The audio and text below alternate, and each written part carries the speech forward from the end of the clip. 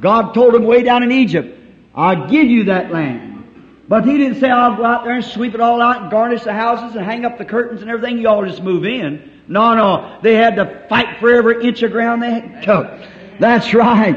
Fight and take it by every fight, every inch. But he said, everywhere the soles of your foot lands, that's possession. Yes. Footsteps is possession. Yes. That's the same thing it is today. Divine healing belongs to us. The Holy Spirit belongs to us. It's our property, but you'll fight every inch of it.